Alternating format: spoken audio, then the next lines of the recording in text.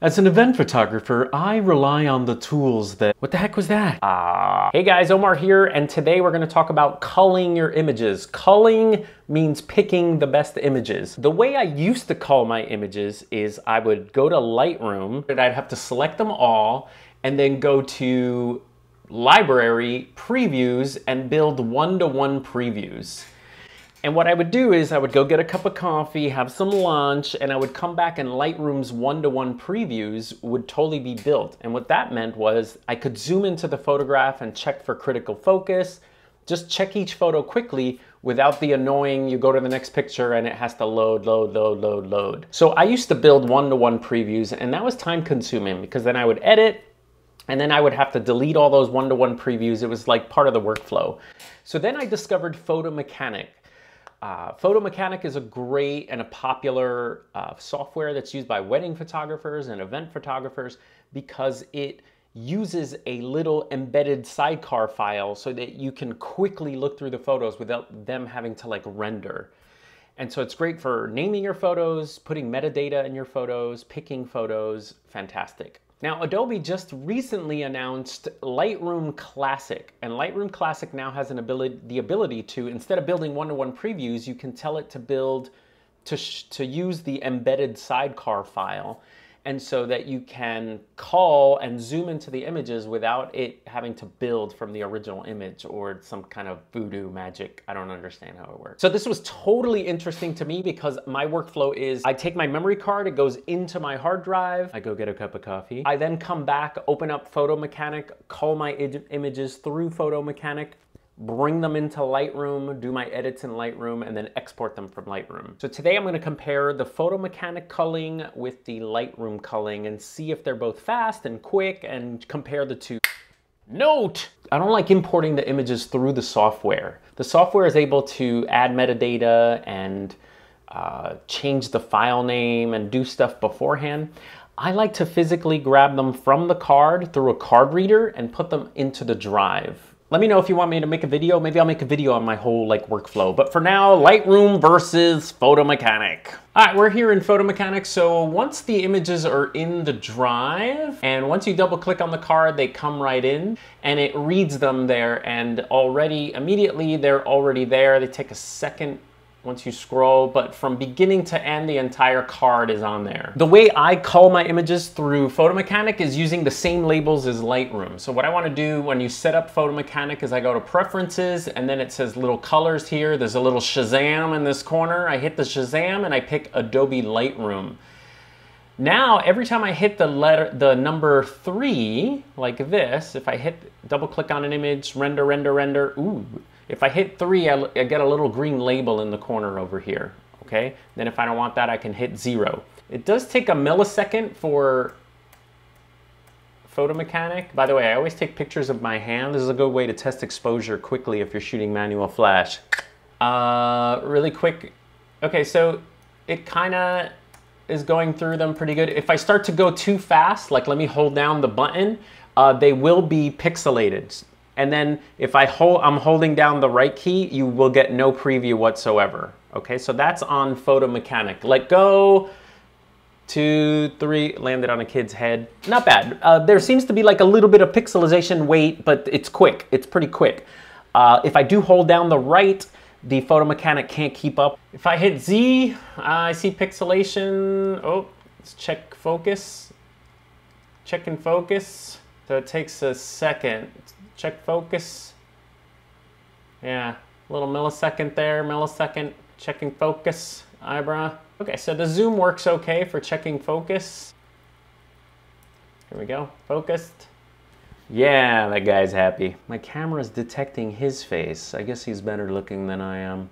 Okay, so that's Photo Mechanic. Let's try the same thing in Lightroom. Let's uh, load the images, bring them in. Let's try to zoom. Let's try to go fast and see if there's a difference. All right, so here we are in Lightroom. I'm gonna hit the import button and find that folder. Import, now over here on the right side, I have picked embedded and sidecar. And this is the card I need, same as Photo Mechanic. Let's add that. And we're gonna import and see if we can start culling right away. So here come the images. All right, so here they're loading up. I'm gonna scroll down. You can actually see them loading up in Lightroom with the embedded sidecar. Uh, let me double click on one. Pixelation, nice. And over here you can see it says embed sidecar on the right side. Let's uh, use, let's go to the right really fast, see what happens. Let's go to the right. So they're all loading, still loading. Pixelated, of course, because they're still probably rebuilding that little embedded sidecar file, but doesn't go blank. It doesn't go blank. That's cool. I'll hit Z to zoom just to check focus really quick. And I can go through them. And the same as Photomechanic, there's like a slight little pixelation for a millisecond, even with the embedded sidecar. Now Lightroom is working in the background, so it is sort of still building um, little previews. I'll test after that little rebuild is there. Let me try again. I'll hold down the right. Let's check that. I'm holding down the right and they're going through. They seem to be, if they have the embedded preview, they seem to be built full. Okay, one advantage of Lightroom over Photo Mechanic. One great thing you can do is you can shift click and hit the N key. And what you can do here is you can actually cull or look at multiple images and you can mark multiple images.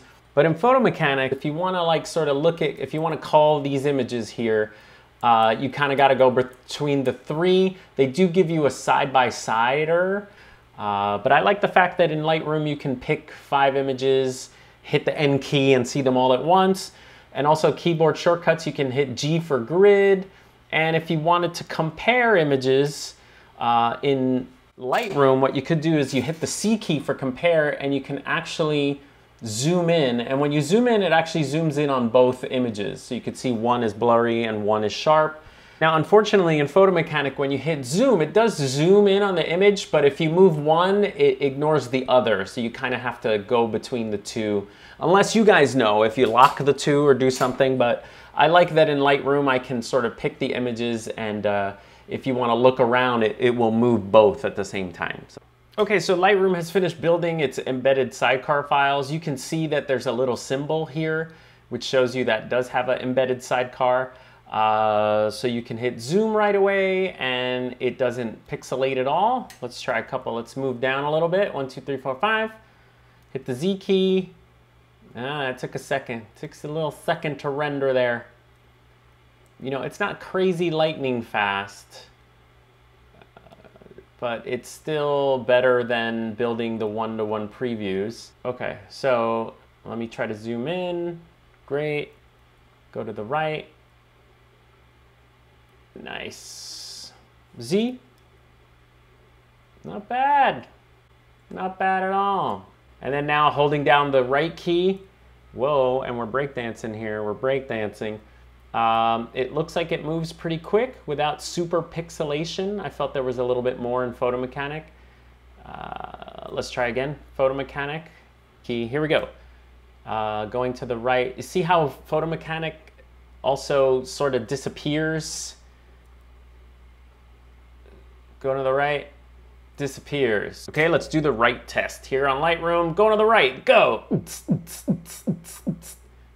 Not disappearing not disappearing. Not bad. I'm impressed. I'm impressed. So if Lightroom is building the embedded cars files in the background, it stinks. It's all pixelated and stuff. Once it's finished working, uh, it totally starts looking pretty good there. So here we go. Uh, holding down one more time. Oh boy. Okay. Mmm. I want donuts. I don't know why. All right, as usual, this is me just playing around, testing things from what I noticed from my machine. And by the way, let me tell you what I'm running here. Uh, I'm running, this is a 5K 27 inch iMac from 2017, 4.2 gigahertz, yada yada. Uh, nah,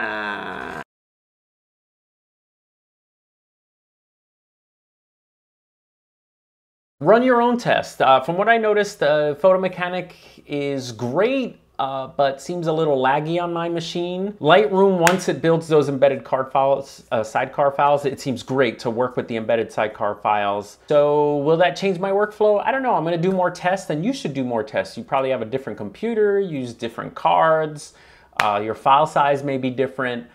Um, so definitely do your own test. This was me again, just usually fooling around and showing you what I've learned. I'm so used to my photo mechanic workflow that it's gonna take a little while to get used to if I even am gonna use the Lightroom Classic.